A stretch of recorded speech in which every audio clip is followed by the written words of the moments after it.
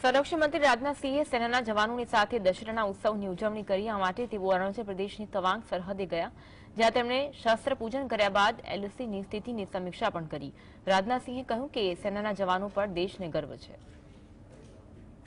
દેશના સંરક્ષણ મંત્રી રાજનાથસિંહે અરુણાચલ પ્રદેશના તવાંગમાં એલએસસી પાસે ભારતીય સેનાના જવાનો સાથે દશેરાની ઉજવણી કરી. આ દરમિયાન તેમણે શસ્ત્ર પૂજન પણ કર્યું. સંરક્ષણ મંત્રીએ ભારતીય સેનાના જવાનો સાથે વાત કરી અને તેમને વિજયાદશમીની શુભેચ્છા પાઠવી રાજનાથસિંહે કહ્યું કે સૈન્ય શક્તિના સંદર્ભમાં ભારતની તાકાત વધી છે તમે જે મુશ્કેલ સંજોગોમાં દેશની સરહદોનું રક્ષણ કર્યું છે તેની પૂરતી પ્રશંસા કરી શકાય નહીં દેશવાસીઓને તમારા ઉપર ગર્વ છે जिन कठिन परिस्थितियों में आप सब क्योंकि मैं एलएसी के पास तक जाकर मैंने देखा है जिन कठिन परिस्थितियों में आप लोग इस देश की सीमाओं की सुरक्षा की जिम्मेदारी निभा रहे हैं उसकी जितनी भी सराहना की जाए वह कम है और मैं बतलाना चाहता हूं देशवासियों के को आपके ऊपर नाज है देशवासियों को आपके ऊपर गर्व है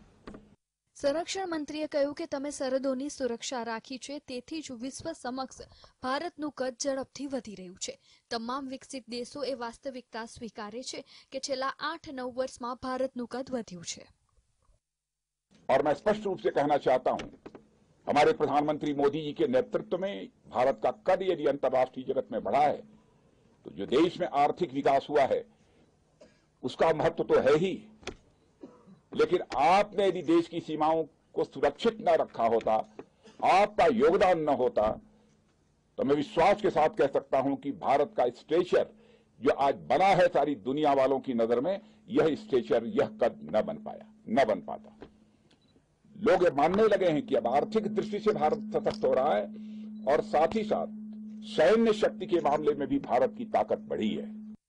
રાજનાથસિંહે વાસ્તવિક નિયંત્રણ રેખાની ગ્રાઉન્ડ રિયાલિટીની પણ જાણકારી મેળવી સૈન્યના જવાનોએ તેમજ અરુણાચલના બુમલામાં ભારત ચીન સરહદો પર વર્તમાન પરિસ્થિતિ વિશે માહિતી આપી હતી જે પછી તેમણે તવાંગ વોર મેમોરિયલ ખાતે શહીદોને શ્રદ્ધાંજલિ આપી તેમની સાથે ભારતીય સેના પ્રમુખ જનરલ મનોજ પાંડે પણ ઉપસ્થિત રહ્યા. છેલ્લા કેટલાય સમયથી રાજનાથસિંહ દશેરા ઉપર શસ્ત્ર પૂજન કરી રહ્યા છે. જ્યારે તેઓ દેશના ગૃહમંત્રી હતા ત્યારે પણ તેમણે આ કાર્ય કર્યું હતું. આ પહેલા વર્ષ બે હજાર બાવીસમાં તેઓ ચમોલી જિલ્લાના ઓલી ખાતે આર્મી કેમ્પ પહોંચ્યા હતા અને શસ્ત્રોની પૂજા કરી હતી. Bureau report GST